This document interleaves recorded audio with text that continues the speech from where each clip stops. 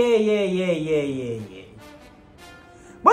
Así el quinto emperador y hoy os traigo una teoría sobre una posible situación tirando a la recta final de lo que se podría dar en, en Onigashima y sobre todo en Guano en general. Es una teoría un poco loca y aviso desde ya que es muy poco probable que suceda, pero a raíz de haber visto el Opening 24, el cual sabemos que últimamente a Toei le gusta spoilear incluso a la mismísima gente del manga, como, por ejemplo el clásico ejemplo de Denjiro, ¿no? Que te dijo que era Denjiro, que Kyoshiro era Denjiro, te lo dijo el, el, opening antes que el propio manga. Y esas situaciones se dan últimamente bastante en los openings. Entonces he pensado, ¿y si una vez más Toy Animation, que saben cosas que todavía no se han dado en el manga, nos está queriendo decir algo más esta vez? Y bueno, se me ocurrió una alternativa de algo que se podría dar, que sale a partir literalmente de este opening y que bueno, que estaba planteando cómo podía desembocar, cuál podía ser el final de esta teoría, hasta que en el último capítulo del manga apareció un personaje en la última viñeta de todas que me hizo pensar, tengo la respuesta. Así que antes de empezar, Nakamas, os pediría que os suscribierais al canal, que últimamente estamos creciendo mucho, está yendo muy guay el canal, pero no podemos parar. Lo siento por ser pesado con la suscripción, pero Nakamas, si queremos llegar a 200.000 suscriptores este año, hay que ser pesado, hay que darle duro. Voy a estar subiendo, como estáis viendo, más vídeos que nunca. Y esto tiene que seguir así a tope, porque este año por narices tenemos que llegar a esos 200.000. Así que confío en ti, Nakama, suscríbete. Y una vez dicho esto, podemos empezar con esta teoría que yo creo que no será muy extensa, pero que desde luego me apetece soltarla, aunque repito que no sea muy probable. Pero quiero soltarla, me parece interesante, a ver qué opináis vosotros. Vamos a ello. Consiste, como veis en el título, sobre un plan bastante malvado y destructivo que Big Mom, la Yonko, tiene pensado hacer en caso de que no se cumpla lo que efectivamente no se va a cumplir. Sabemos que los dos Yonko, Kaido y Big Mom han hecho una alianza para conseguir el One Piece, gobernar el mundo y demás, y todo da comienzo en la nueva isla de los piratas que quieren crear, que es la nueva Onigashima, la cual ya está en proceso de, convertirse, que es levantar Onigashima de su sitio, llevarla a la capital de las flores, aplastar literalmente la capital y crear ahí la nueva isla de los piratas. Bien, todos sabemos que es muy probable que ese proyecto no se cumpla, es decir, o porque Momonosuke con sus nubes de fuego está frenando la isla, porque Kaido caerá derrotado, sea por lo que sea, sabemos, Nakamas, que ese proyecto de Nueva Onigashima no se va a dar. Y esto es algo que aunque nosotros lo demos por hecho, los propios personajes que actualmente están en Onigashima, tanto aliados como enemigos, van a ir viendo que no se va a dar esa situación, porque la isla irá frenando su ritmo. Kaido poco a poco va perdiendo fuerzas y va pudiendo manejar menos la isla, acabará siendo derrotado. Es decir, esa no tiene ninguna pinta de que Onigashima vaya a acabar aparcando en la capital de las flores. Entonces, ¿qué es lo que pretendería hacer Big Mom? Es muy probable que Big Mom no salga con vida de Onigashima. Es decir, este arco Oda lo ha creado para dar el comienzo del fin de los Yonko.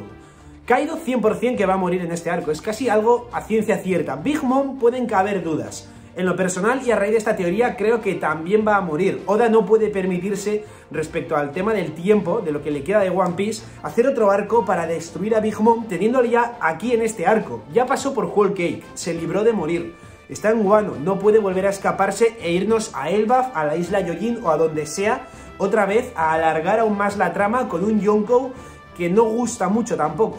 Entonces lo más probable es que estemos ante el último día de vida de esta Yonko. Sin embargo, ella sabemos que tiene, que tiene bastante maldad dentro y también, eh, digamos que a pesar de tener ciertos códigos morales y demás, como ha demostrado, Big Mom tiene una alianza con Kaido. ¿Puede acabar en traición sin ningún problema? Yo creo que no. Yo creo que bajo cualquier concepto va a intentar destruir la capital de las flores para de una manera u otra poner Onigashima ahí. Seguramente Big Mom caiga muerta antes que el propio Kaido.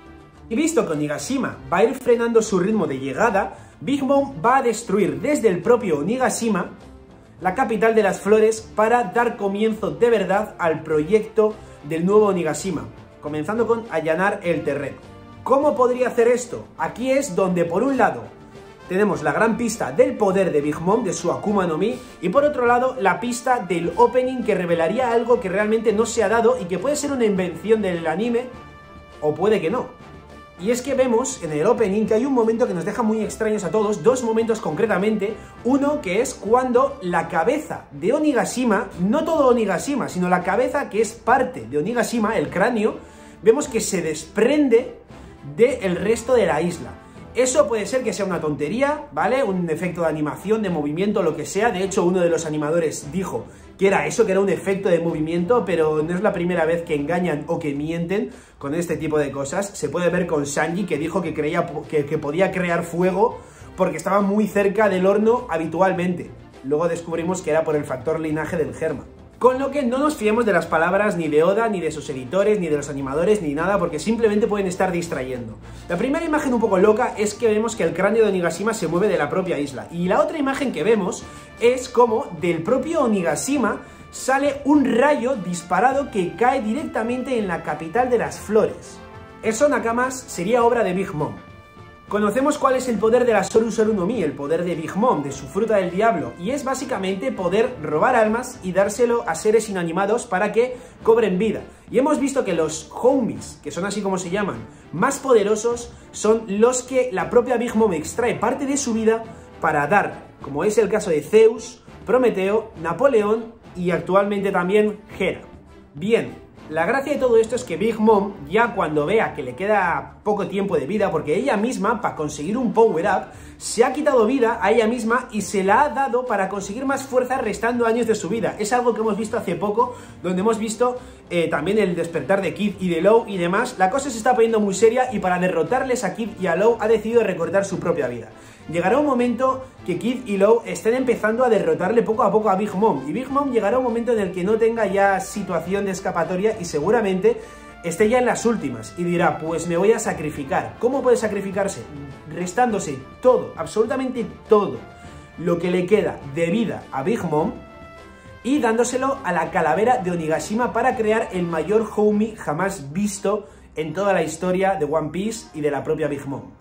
Sabemos que los homies no simplemente doy vida a un trozo de madera y ya está. Los homies pueden recrear ataques con materia, con elementos. Hemos visto que Zeus puede lanzar rayos y lluvia, o viento. Hemos visto que Prometheus puede crear fuego. Hera puede hacer rayos también. Es decir, un homie puede hacer ataques. Entonces, si Big Mom le da gran parte de su alma restante, toda su alma restante de hecho, a la calavera, sería el homie más poderoso indiscutiblemente, además un homie enorme. Ese homie sería capaz de lanzar ese rayo que estaríamos viendo que dispara hacia la capital de las flores, dejándola aniquilada.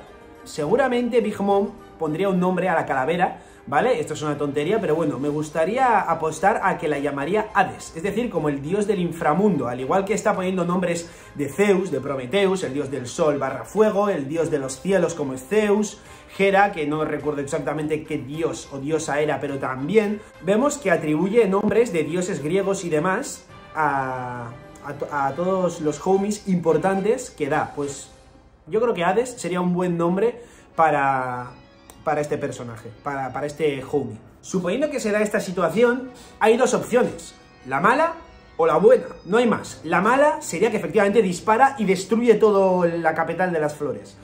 Esto es One Piece, es muy raro y muy difícil que se dé esa situación. La opción buena es que efectivamente ese disparo, ese rayo, no llegue a destruir la capital de las flores. Aquí se vuelve a abrir en dos opciones. Por un lado, porque alguien frena el disparo antes de que éste salga del propio homie, o por otro lado, se dispara, pero alguien frena, ya sea con un poder increíble, sacrificándose, sea como sea, alguien frena ese ataque evitando que llegue a la capital de las flores. Tirando de descartes respecto a quién podría salvar de este ataque, entendemos que los Mugiwaras, los Supernovas, los Samuráis, todo ese mundo está reventado, está destrozado, no puede frenar un ataque tan destructivo como el que se ve en el opening. Y sinceramente los Samuráis randoms de Guano, de la capital de las flores, no van a parar ese ataque. Entonces aquí es cuando yo, antes de este último capítulo, pues empecé a sacar opciones, ¿no? Pensé, por un lado, en un increíble acto de buena fe, y un poco raro y descartable sería que el gobierno mundial, el cual se está acercando a Onigashima y a Wano, sea quien frene ese ataque, vía Cyberpool, vía alguien muy poderoso del gobierno mundial y demás. Una opción que realmente descartaría porque el gobierno mundial se la suda tres cojones que Guano sea destruida o no. De hecho, igual hasta les beneficia que sea destruida. Luego pensé que sería un gran momento para una presentación del último almirante de todos, Green Bull. Ha quedado claro que los almirantes tienen un poder destructivo brutal. Akainu con sus meteoritos de magma puede reventar a quien le salga de la polla. Fujitora hemos visto que puede frenar y lanzar meteoritos, o sea, puede, puede mandar un meteorito a la Tierra, puede repeler un meteorito, o sea, tiene unos poderes destructivos brutales. Green Bull estará a esa altura por lo menos, con lo que tampoco me sorprendería que la aparición de Green Bull fuera en Guano para frenar esta situación. Luego también hay otra opción, que, bueno, pues la típica, ¿no? De he venido para esta guerra, ¿vale? Y aparece Sans y, frena el ataque. También cabe la pequeña posibilidad, pero ya, Nakamas, creo que podemos descartar todas esas opciones e irnos a la opción definitiva, a la opción donde la respuesta se nos ha dado en este último capítulo 1037. Zunisha está llegando a Wano.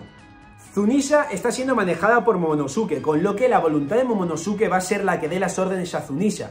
Momo está parando Onigashima, pero no va a poder parar Onigashima y parar ese pedazo de rayo que se dirigiría a la capital de las flores. Entonces, la orden iría a que Zunisha frenase ese ataque. Zunisha se sacrificaría por Momonosuke y por Wano.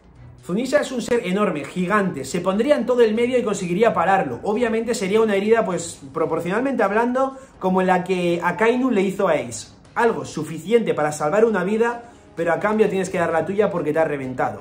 Pues yo creo que Zunisha sería algo de este estilo. De esta manera cerraría ese castigo que tiene durante miles de años de estar destinado a caminar y caminar en vano y podría cesar su paseo de una vez por todas, dando un descanso enorme a Zunisha y habiendo hecho que ya haya limpiado ese pecado que cometió hace mucho tiempo. De hecho, creo que el lugar perfecto para Zunisha, la cual recordemos que tiene encima al reino de Zou, sería donde actualmente la nueva Onigashima, o sea, perdón, la Onigashima de toda la vida, ha estado situada.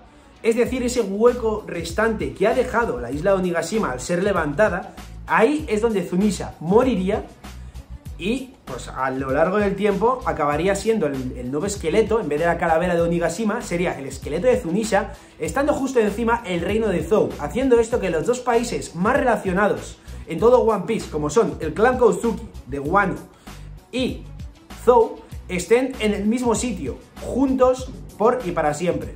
De esta manera ya el mundo de One Piece empezaría a modificarse sutilmente, algo que acabará pasando ya sea porque se destruye la Red Line, porque la isla Yojin se va a subir arriba, porque Zou y el clan Kozuki estarán juntos ya para siempre a raíz de esta nueva transformación de, de la forma de la isla de Wano. De esta manera cerraríamos muchísimas cosas.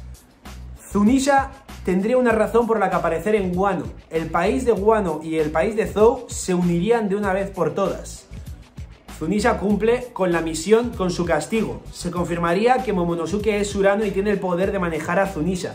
Big Mom tendría un final cerrado. No moriría asesinado a manos de Kid, a manos de Law, a manos del gobierno mundial. Ella misma se suicidaría por intentar completar un plan de Onigashima que Kaido únicamente completaría puesto que Big Mom se estaría sacrificando para ello. Se explicaría esa situación rara del cráneo de Onigashima y ese rayo que, va a caer a la capital de las flores de este nuevo opening. Todo esto, Nakamas, creo que se responde a raíz de esta teoría que, repito, como he dicho al principio, me parece loquísima y muy poco probable, realmente. O sea, todo es una fumada que flipáis pero creo que es interesante por lo menos comentarlo y que ya cada uno de vosotros decida si le convence, si no le convence, si lo ve más o menos probable. Pero la verdad que creo que es algo interesante de comentar y que a raíz de la aparición de Zunisha encaja aún más. Y nada más, Nakamasuelis, hasta aquí llegaría esta teoría que espero que os haya gustado, os haya convencido. En caso de que no, no tenéis ningún problema, vais a los comentarios, ponéis por qué creéis que sí o que no os ha gustado, os ha convencido, ya sabéis que podéis sumar o restar argumentos ahí en los comentarios